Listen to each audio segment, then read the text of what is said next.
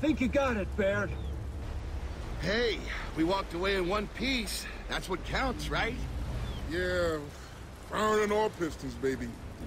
I mean, war's as extreme as you can get. You know, it, it, sort of brings out the very best and the very worst in, in, in people.